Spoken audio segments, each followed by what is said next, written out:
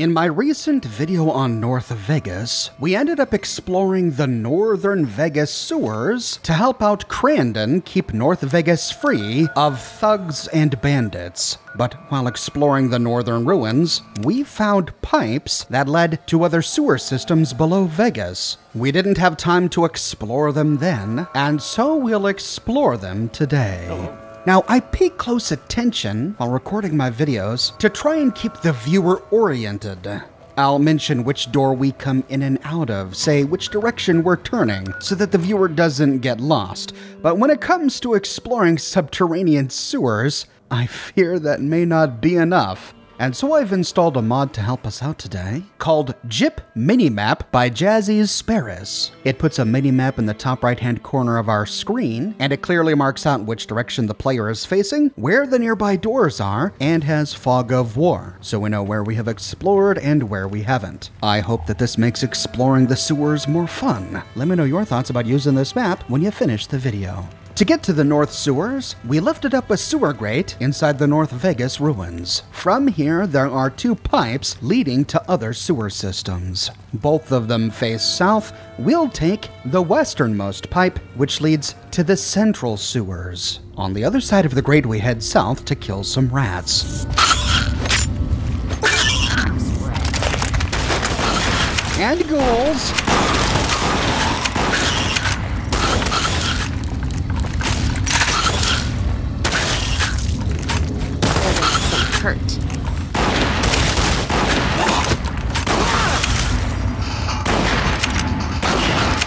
We arrive at a path that runs east and west. We'll start by going west. This immediately leads to a very large room supported by concrete pillars running south and north. We'll go north for now. Moving north, we pass some sort of valve we can't interact with. And here the path splits off to the west. Following west, we round a corner north up a slope to find another junction and a rat. We could go west or continue north. Going west leads to a dead end. This pipe is blocked in with concrete rubble, so turning around we can go through the doors to the north. This lets us into a flooded room, which ultimately leads to a vaulted room with a staircase. Climbing the staircase leads to another filled in pipe. There is a door to the east, but it is likewise filled in. So we've hit a dead end. Looks like we'll have to retrace our steps. Going all the way back to that large room that ran north and south, we'll continue by going south. Here we can kill a few more rats. All paths out of this room are blocked in with rubble except the southernmost path. This path slopes up a hill where we find fiends.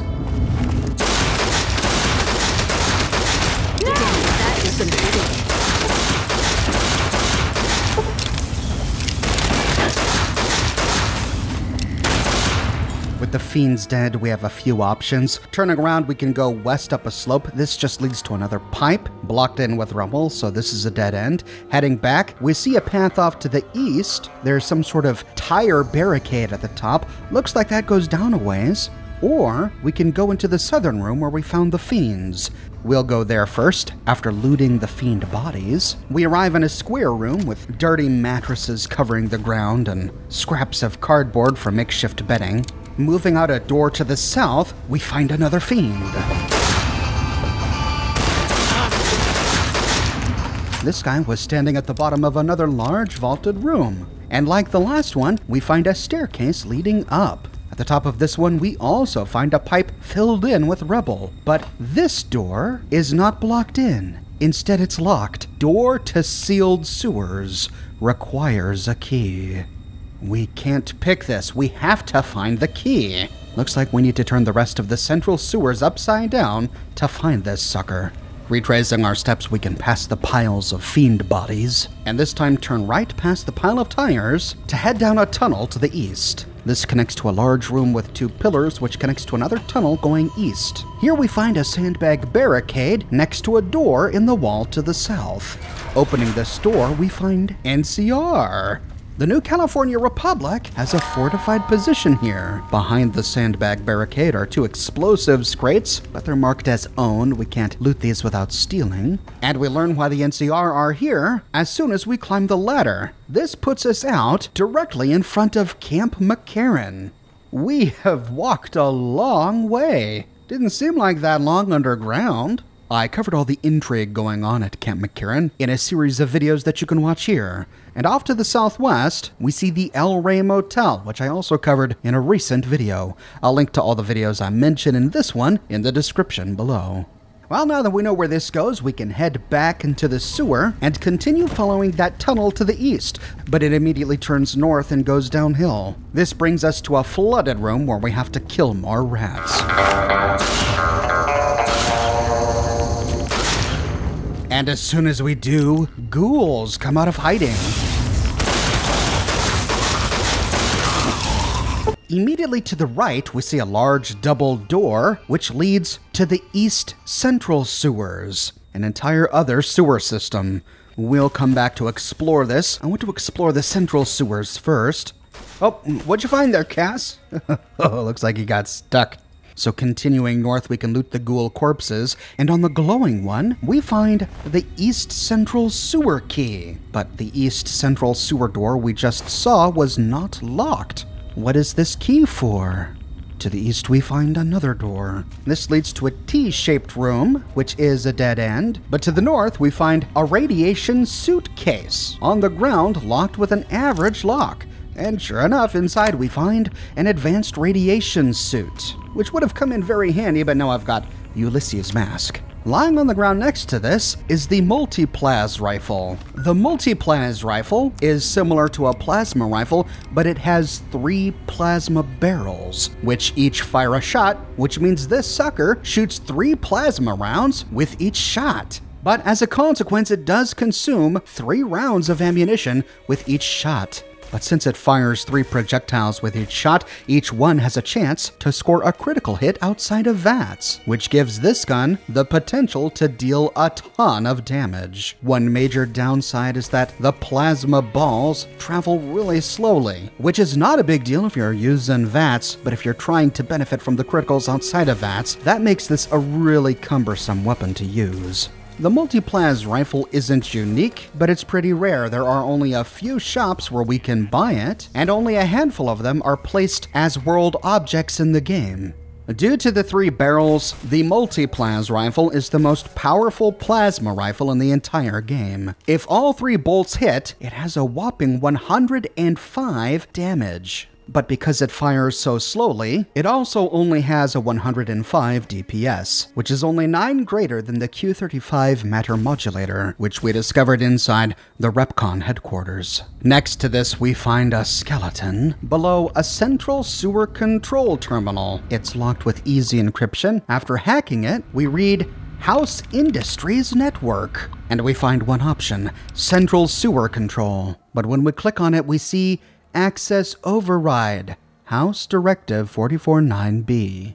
This terminal has no function. It's part of a cut quest. It serves the same function as the terminal we found inside the New Vegas Steel Building. During the quest, the moon comes over the tower, which we covered in my series on the NCR ending to the game. That quest was originally intended to be much more elaborate, sending you all over the Mojave to access these terminals, which would allow you to override House's computers. But that quest was reworked at the last minute, and yet these terminals remain, but sadly serving no function. Heading out, we have quite a few choices. We see that the tunnels slope up to the west, continue up to the north, and we find another door to the east. Checking out this door first, we see that it's another door to the east central sewers. Alright, we'll come back here later. Well, let's head west for now. Part of me thinks that this may complete a loop. At the top of this slope, we arrive in another large room with four pillars. There looks like an outlet to the south. As we head that way, we find the body of a prospector, and she was carrying quite a load. On her corpse, we find caps, ammunition, water, whiskey, all sorts of stuff. That's right, I've got Rose of Sharon Cassidy with me. Might as well chug a whiskey. Ah, now there goes the pain. That's the ticket. The path south is blocked in with more rubble, so turning around, we see this room connects to another room we explored to the west. And sure enough, continuing north, we find the exit to the northern sewers, where we came in. So, turning around and moving northeast, we can head back towards those doors to the eastern sewer. We pass a door to the north, opening it. We see this must have been a ladder to a sewer grate at one time, but rubble from above has caved in. And lying dead on the ground is blind Luke. On his corpse, we don't find much, but we do find Luke's find. The icon of this item says that it's a key. Could Luke's find be a key to the sealed sewers we found earlier? We'll take it just in case. Poor old blind Luke. I wonder if he was really blind or if that was just a nickname. Well, this leaves only two paths left to explore to go through the doors to the eastern sewers, or to take the final tube to the east all the way north. We'll do that first. Heading north up the tube, we can kill rats at the top. At the end of this tube, we find a door to the west with a ghoul. Time for your. The ghoul was standing over the corpse of a dead prospector. Like the last one, this prospector was carrying quite a load of goods. And for caravan players, this is a welcome find. On his body, we find the four of diamonds and the seven of clubs from the Tops Casino. And on the ground next to his hand, we find another key. This key is called the Central Sewer Key. This key opens up the advanced radiation suit locker that we found in the other room. Since we already unlocked it, we have no further use for this key. Next to his body is a duffel bag, and inside we find quite a store of goods. Backing out of this room, we can finish exploring this tunnel all the way to the north, which brings us out a sewer grate back into the north sewers. We discovered this entrance in my video on the north sewers. So since we've been here before, we'll head back into the central sewers. And now that we've fully explored the central sewers, we can head south down this tunnel and take either of the two doors we discovered to the east central sewers. On the other side, we round a corner to enter a huge pillared room with more rats.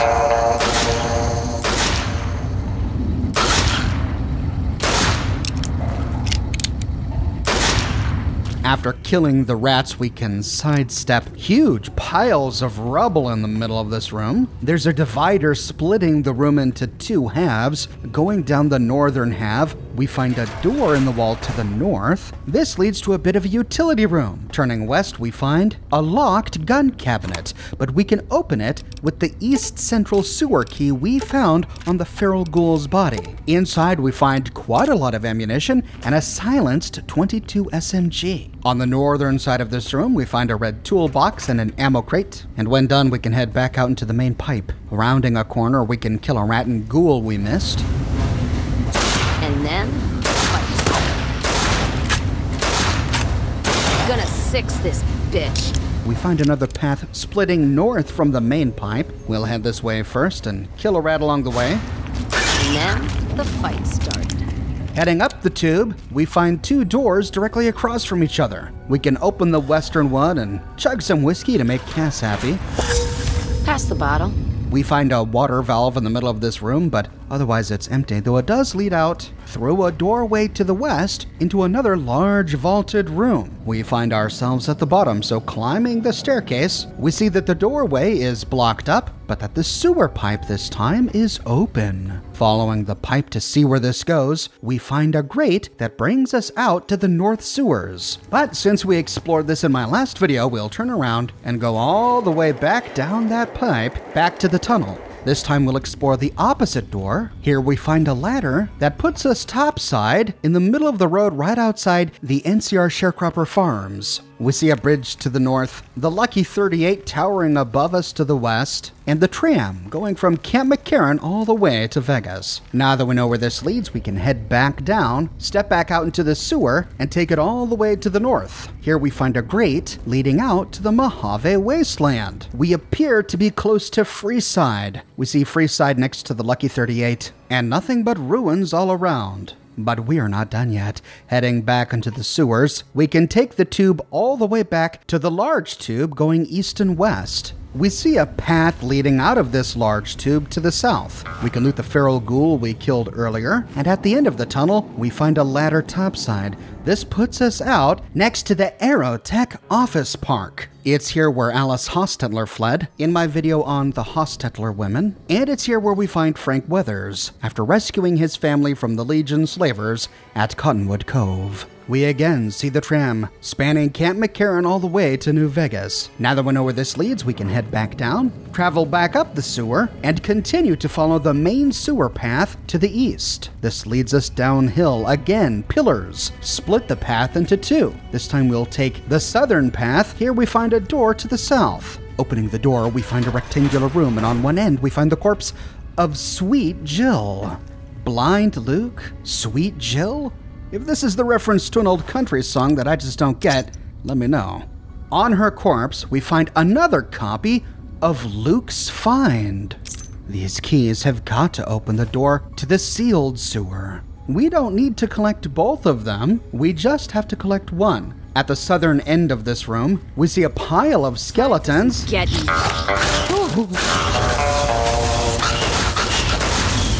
and we get attacked by unnaturally large sized rodents. This must be a reference to The Princess Bride and its rodents of unusual size. Though interestingly, finding rodents of unusual size is a Wild Wasteland trait event. I guess this makes two references to The Princess Bride.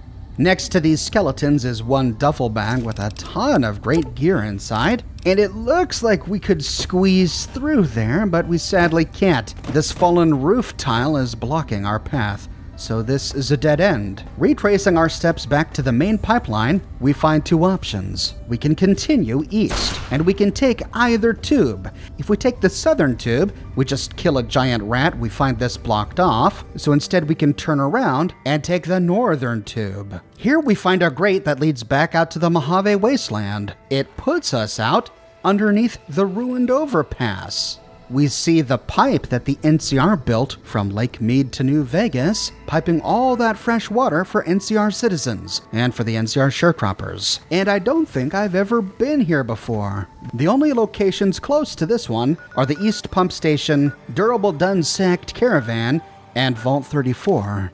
But we're not done with the sewers, so heading back to the East Sewer Grate, we can check our local map and it looks like we've completely explored this sewer. That leaves only the sealed sewers left to explore. So heading back to the central sewers, we can take the other door this time and then follow the pipe south. Remember, this winds past the NCR checkpoint, goes up the hill past that big stack of tires where we killed all those fiends, but strangely enough, their bodies are all gone. Wow, those decayed fast. We can then head to that big vaulted room and climb the steps to find the door to the sealed sewers. And sure enough, Luke's find opens it. On the other side of the door, we climb up a staircase, enter a generator room to find. Oh.